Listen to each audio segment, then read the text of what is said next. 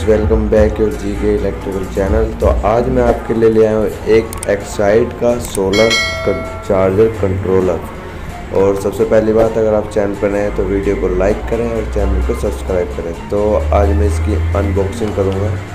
तो ये हमारे पास है उसका पैकेज और मैं इसको खोल लेता हूँ ब्लेड की मदद से।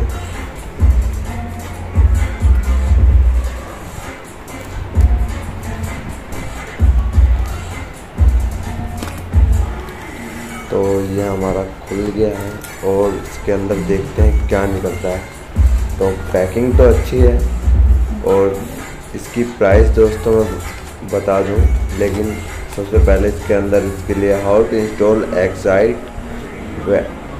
battery controller charger की मेन्यू कि इसे इंस्टॉल कैसे करें और कैसे चलाएँ। इसमें हमें एक और बिल मिलता है जो कि कंपनी की तरफ़ से है। एक्साइड की मैन्युफैक्चरर्स की तरफ़ से कि इसकी क्या क्वालिफिकेशन है दोस्तों, ये काम की चीज़ है। इसको मैं आपको बाद में पढ़ के बताऊँगा। जब मैं इसको सोलर प्लेट में कनेक्ट करके आपको दिखाऊँगा तो अभी तो सिर्फ़ ऐसे ही दिखा देता हूँ। फिर मैं इसके जो इसमें लिखा है, मैं स्टेप बाय स्टेप उसका मतलब और बताऊँगा कि ये क्यों दे रखा है। ये दोस्तों काम की चीज़ है। तो सीधा चलते हैं हम अपने सब्जेक्ट पर, जो कि है मेरे हाथों में। तो आपको इसकी पैकिंग दिख रही होगी। ज़बरदस्त पैकिंग में आया ताकि ये डैमेज ना हो। तो ये हमने खोल लिया और पैकिंग के अंदर एक और पैकिंग फिर आता है हमारा एक साइड का डिब्बा। तो सबसे पहले मैं निकालता हूँ इसमें से अपना सब्जेक्ट और दिखा दो डब्बा। एक साइड सोलर चार्जर कंट्रोलर बारह सौ चौबीस वोल्ट दस एम्पियर का है ये। मैंने ये ऑनलाइन परचेज़ किया है, तीन सौ नब्बे रुपये का दोस्तों। तो डब्बे को रखते हैं साइड में और सीधा आते हैं अपने प्रोजेक्ट पर। ये एक साइड का कंट्रोल चार्जर, जो कि कुछ इस तरह है। प्लास्टिक की बॉडी है, तीन इंडक्टर दिए हुए हैं। और मैं इसको आपको अंदर से भी खोल के दिखाऊँगा कि क्या इसकी अंदर है, क्या नहीं है। ओवरलोड लोड ऑन के लिए बैटरी लो सोलर चार्जर के लिए। सोलर का पॉजिटिव यहाँ, बैटरी का पॉजिटिव दोस्तों इधर इधर लोड का पॉजिटिव बाकी सब सेम है नेगेटिव नेगेटिव नेगेटिव इस तरीके से इसकी हमें इंस्टॉलेशन करनी है, जो कि बहुत ही इजी एंड सिंपल है। प्लास्टिक की बॉडी है। इसे मेंटेनेंस की ज़रूरत भी नहीं है। एक बार लगा दो और छुट्टी तो क्वालिटी तो इसकी ठीक है, अच्छी है। अब चलाने पे पता लगेगा कि इसकी क्या क्वालिटी बेस्ट है। तो पहले मैं इसे आपको खोल के दिखाता हूँ कि इसके अंदर क्या है, क्योंकि अब ये ख़राब हो या सही हो, मैं इसको वापस तो करने वाला हूँ। तो मैं इसको आपको खोल के दिखा देता हूँ कि इसके अंदर क्या क्या है। और क्या, कौन सी माइक्रो कंट्रोलर आईसी इसके अंदर लगी हुई है? क्योंकि इसके अंदर दोस्तों रिले तो नहीं होगी, क्योंकि इसके अंदर एक आईसी होगी। जी हाँ बिल्कुल।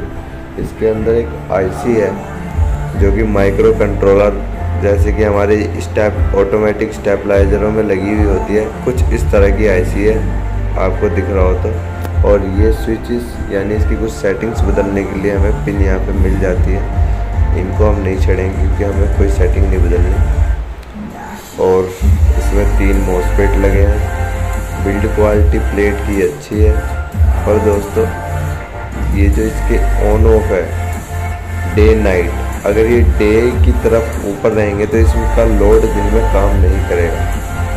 और दोस्तों, मुझे इसमें एक गलत बात ये लगी कि इसकी जो आईसी है टेप से चिपकी हुई है मतलब हीट सिंक वाली टेप होती है, उससे चिपकी हुई है, ना ही किसी की स्क्रू से।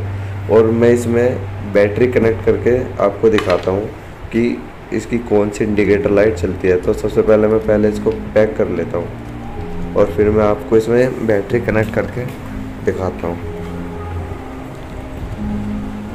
और दोस्तों, फिर एक और बात चैनल पर नए हो तो चैनल को सब्सक्राइब करें और वीडियो को लाइक तो ज़रूर करें।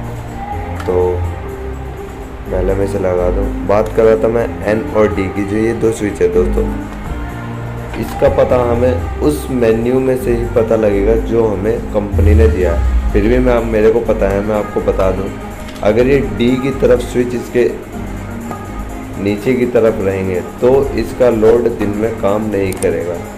यानी चार्जिंग के समय आप इससे लोड नहीं ले सकते हो। इसलिए ये हमेशा ऊपर की तरफ़ रहनी चाहिए। तो मैं इसके बैटरी का पॉजिटिव, में पॉजिटिव लगाता हूँ। कुछ इस तरह। नेगेटिव में नेगेटिव तो दोस्तों, आपको दिख रहा होगा एस पी वी चार्जिंग जल गई। जब और चार्जिंग ये इसकी एक सेटिंग है। पहले वो जलेगी, फिर ऊपर वाली जलेगी।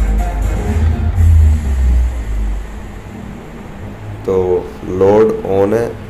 अब दोस्तों, कुछ व्यूअर्स को लग रहा होगा कि ओवरलोड क्यों जल रहा है? तो दोस्तों, जब ये ओवरलोड होगा तो ये लाइट बार बार बंद चालू यानी ब्लिंकिंग करेंगी। और जब इस पर सिर्फ़ लोड होगा, या लोड नहीं भी होगा, यानी ये अपनी तरफ़ से लोड दे रहा है तो सिर्फ़ इसकी एलईडी ग्लो करेगी। लेकिन जब ओवरलोड होगा तो एलईडी ब्लिंकिंग करेगी। और लो बैटरी पे रेड जलेगी, और चार्जिंग पे एसपीवी चार्जिंग तो जैसा कि आपको दिख रहा होगा हमारी रेड एलईडी ग्लो कर रही है। और रेड एलईडी ग्लो करते ही, जब एलईडी रेड ग्लो करते तो हमारी लोड पे से कनेक्शन हट जाते हैं ऑटोमेटिक तो ये वर्क कर रहा है, और एसपीवी चार्जिंग एलईडी ग्लो नहीं कर रही, क्योंकि मैंने इसका एक वायर हटा दिया है। अब मैं इसका वायर लगाऊँगा, और वायर लगाते ये चल गई। और ग्रीन एलईडी हमारी ग्लो कर रही है लोड की। तो दोस्तों ये सही में वर्क कर रहा है। तो कैसी लगी वीडियो? वीडियो को लाइक करें और चैनल को सब्सक्राइब करें।